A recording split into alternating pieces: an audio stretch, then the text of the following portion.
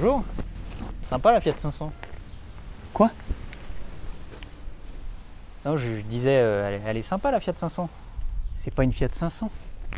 C'est une Abarth 500. Eh oui, mieux vaut ne pas contrarier le propriétaire d'une Abarth. Il faut dire qu'hormis la série limitée Tributo Ferrari, affichée plus de 42 000 euros, cette Abarth 500C et CSC est le modèle le plus cher de la gamme. 25 050 euros, dont 3 700 euros de kit essai essai. Kit et c'est quoi? Bien, reprenons. Le kit essai essai, qui peut être commandé en même temps que le véhicule ou en seconde monte, radicalise la Barth classique. Le petit 1,4 litre turbo passe de 140 à 160 chevaux, le châssis est modifié au travers de ressorts plus courts et de nouveaux amortisseurs Koni, et le freinage est renforcé grâce à des plaquettes de frein Racing qui pincent des disques désormais percés.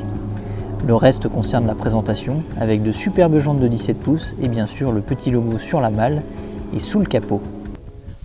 Alors, elle ressemble à une Fiat mon Abarth?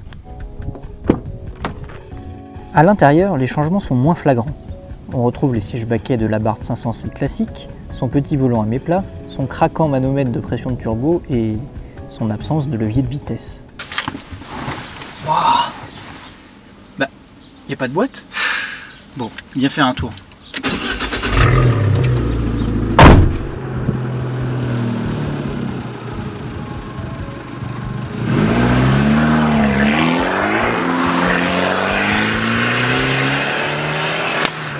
C'est la petite particularité de la 500C Abarth. Elle est uniquement disponible avec une transmission robotisée à simple embrayage. Si le système n'est pas aussi rapide qu'une boîte DSG Volkswagen par exemple, elle se montre plutôt bien gérée en mode auto et dispose d'un mode sport réactif. Pour les plus exigeants, il existe le mode manuel, assez prompt au passage des rapports et commandable grâce aux petites palettes situées derrière le volant. Mais ce qui plaît par-dessus tout dans la SCSC, c'est son moteur rageur. En pressant la touche sport, on dispose du couple maximal, d'une meilleure réactivité à l'accélérateur et d'une direction plus ferme. Dès 2500 tours, le petit 1,4 litre turbo pousse fort jusqu'à près de 6000 tours et les sensations culminent grâce à la sonorité irrésistible.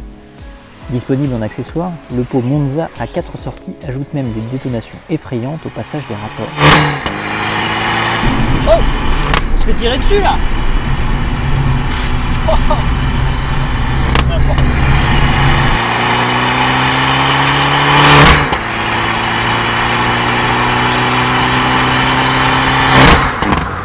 Côté châssis, la 500 alterne le bon et le moins bon.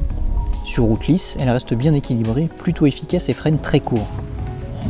Mais dès que la chaussée se dégrade, les amortisseurs peinent à retenir les mouvements de caisse, ce qui altère la tenue de cap et rallonge les distances de freinage. De toute manière, les interventions de l'antidérapage ESP non déconnectable ne facilitera pas l'exercice, tout comme les plaintes des passagers secoués comme des pruniers. Oula Eh, eh, eh, eh, pas sur mes sièges hein Du coup, mieux vaut adopter une allure plus modérée et profiter de la dernière facette de la Barth 500C, son grand toit ouvrant. Tout en roulant, on peut l'ouvrir jusqu'à la banquette à l'aplomb des passagers arrière ou alors totalement jusqu'au haillon.